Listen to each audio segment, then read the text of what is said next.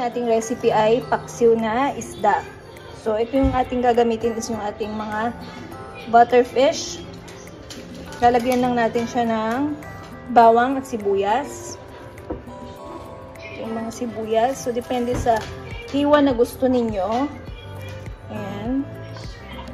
So, bago natin siya isalang sa apoy, inilalagay na natin yung mga sangkap. Pagkatapos, lalagyan po natin ng gulay. Depende rin po sa inyo kung anong gulay yung gusto nyong ilagay.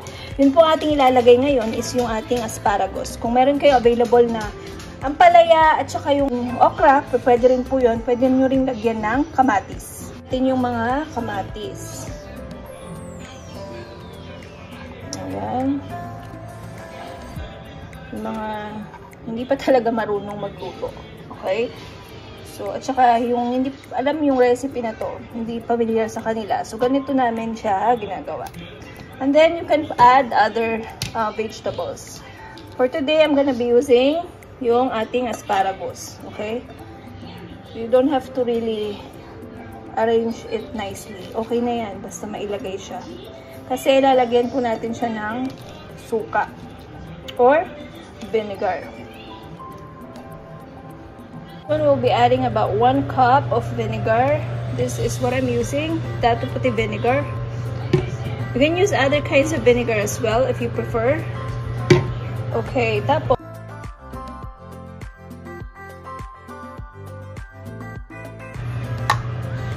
Next, we will add salt or patis and some other seasoning like paminta. We'll add a little bit of patis or fish sauce.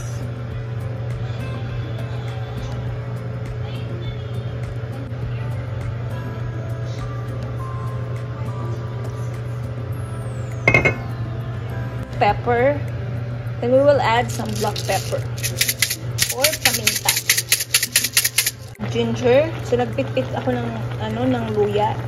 Ito yung magtatanggal sa lansa nitong ating fish. Next, cover and let it boil.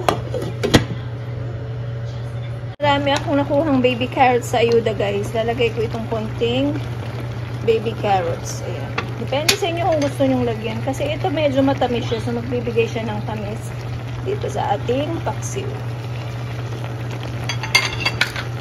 minutes. Ayan. Pwede na natin itong patayin kung yung masyadong overcook yung inyong gulay. Ayun na guys yung ating recipe. Ang dali lang nito.